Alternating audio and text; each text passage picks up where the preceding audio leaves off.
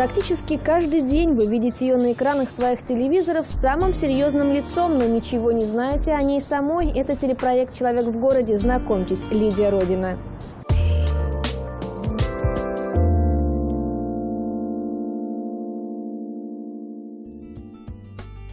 Честное слово, даже для нас, людей, которые ежедневно сотрудничают с Лидией, эта съемка стала маленьким откровением. Что делать? Лицо рязанской полиции по долгу службы не положено сантименты.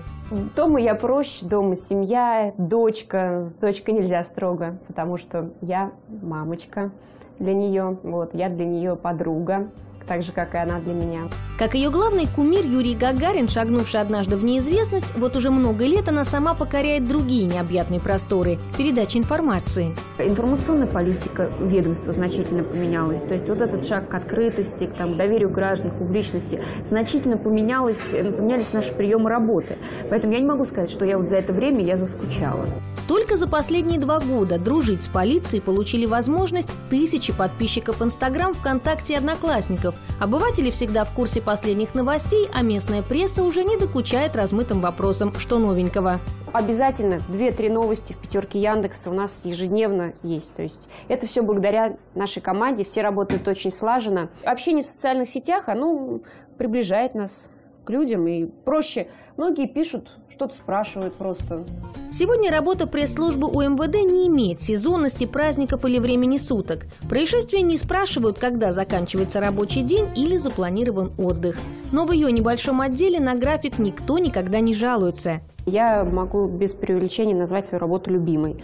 Вот она, ее скромная маленькая вселенная, без привычных девичьих атрибутов и яркой мишуры. Большие кабинеты не люблю, потому что в них неуютно. Ее команде хватает творчества в работе. Помимо сухих протоколов приходится изучать азы монтажа, разновидности съемки и приемы подачи информации. За день успевают по нескольку раз побывать и в должности оперативников, и в шкуре журналистов твердая четверка есть. То есть мы вполне, скажем, по картинке, по монтажу э, наши материалы устраивают вполне... Как минимум региональное, э, как минимум региональное телевидение, да. Сюжеты нашей пресс-службы МВД охотно берут даже федеральные телеканалы. Когда пишешь сама, конечно, все это запоминается. И когда вот вы приезжали за комментарием, то есть всегда это без бумажки. А сейчас нет времени самой писать, в основном тексты пишут у меня сотрудники, поэтому у меня сейчас такой импровизированный суфлер, распечатываю, приходится... Это, конечно, может быть не самый там признак профессионализма, но просто нехватка времени для того, чтобы заучивать для комментариев эти тексты хорошей форме идти в ногу со временем гораздо легче, решила моя героиня и отправилась в спортзал. С недавнего времени там она проводит по два часа пять раз в неделю. Обычно же мы девочки как вот, ой, там прическа, макияж, все. Спортзал – это единственное место, куда я могу прийти и не задумываться, что у меня с прической, что у меня с макияжем. Я просто полностью отключаюсь погружаюсь вот в этот процесс. Лидия из той удивительной и довольно редкой породы женщин, которые успевают следить за собой и при этом оставаться хорошей хозяйкой и прекрасной мамой. Не каждый из нас в разгар рабочей недели готова печь пироги, если ребенок пригласил полкласса друзей. Я там встаю в 5 утра, если я не успеваю, я буду вставать раньше. Оперативность и мобильность в ее жизни присутствовали всегда. Она получила водительские права, когда в моду только входило слово «автоледи». Машина – такой банальная экономия времени просто. Я люблю ходить пешком, вот, но я не могу себе этого позволить. То есть я ну, не из тех, кто я не пойду пешком, там все. Мне очень нравится. И когда вот даже появляется какая-то возможность пройтись пешком, я получаю огромное удовольствие от этого. Вот. Но при этом я иду, и у меня так задняя мысль так, я столько-то времени потеряла. Вот за это время я могла бы сделать то-то, то-то, то. Лидия считает своей прямой женской обязанностью все успевать. Хоть блинчики по утрам, хоть конфеты ручной работы. Это на службе, она на передовой, а дома обеспечивает надежный тыл своего мужа, тоже сотрудника полиции. Он меня покорил заботой, потому что, ну, ни для кого не секрет, что для нас, женщин, очень важна забота. Вот, когда э, ты ну, за тебя кто-то какие-то вещи продумает, может быть, придумает твое завтра, скажем так. Вот. вот это прежде всего меня покорило. Надежное плечо рядом. О том, что такое быть примером для остальных, она знает с самого детства. Дисциплинированность не повесишь на вешалку вместе с формой, это должно быть в крови. То все это на моих глазах происходило, какие-то моменты. Папа был участковым, поэтому вот такие самая людские судьбы, самая народная профессия, да, людские судьбы, общение с людьми. Почему-то в память врезался один единственный день из далекого детства, который, вероятно, и определил всю ее дальнейшую судьбу. Папа в основном на работе, и всегда из детского сада забирала мама. И однажды зимой пришел меня забрать папа. Он пришел такой в шинели, такой весь, он высокий очень был, э, за два метра такой очень высокий. Вот, и он когда зашел в садик, и так все дети обомлели, вот, и все говорят, это твой папа. Я говорю, да, это мой папа. С того времени так желание не подвести родителей, чтобы им никогда не было за меня стыдно. Она помнит, с каким трепетом готовилась к строевой, еще будучи курсантом Академии права и управления, и очень боялась не попасть в парадную коробку. У всех девочек было желание ходить с 9 мая на строевой. То есть парад, все красиво, девушки. То есть как каждый год все рязанцы это видят. Очень хотелось пройти. Вот. И был риск из-за роста не попасть. Дочке Лидии Злате уже семь. Она тоже маму и папу чаще видит в форме, чем в гражданском, но относится к этому вопросу с большим пониманием. Пока я занимаюсь в спортзале, она у меня скачет на боксе. Вот, сама изъявила желание, захотела попробовать, когда узнала. Говорят, что Злата скорее папина дочка, но умение держать спину прямо в любой ситуации у нее точно от мамы. И это Лидия поняла, когда увидела, как в спарринге ее ребенок пропустил хороший удар в лоб.